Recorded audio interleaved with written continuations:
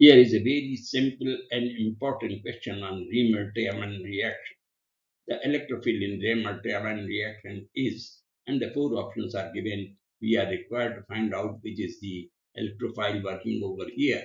So, in a Reimer-Tiemann reaction, we have to take up the Reimer-Tiemann reaction, which is nothing but the ortho formylation of phenol to salicylaldehyde.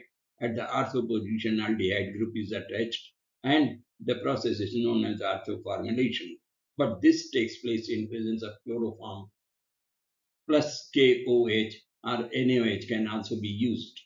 And actually what happens that during the reaction, chloroform reacts with KOH which is a strong base and chloroform, the hydrogen present in chloroform is abstracted by the OH group of potassium hydroxide and water is formed, with the result that a carbanion containing negative charge over carbon results.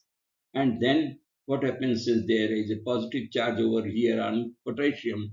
This abstracts, takes up the chlorine, and you get a electrophile which is C uh, Cl2 and having two electrons over it. So this is the proper answer. You get an electrophile which is CCl2. And if you look at the options here, you find option C to be correct. So that's the correct answer. And all other answers, of course, are not applicable over here.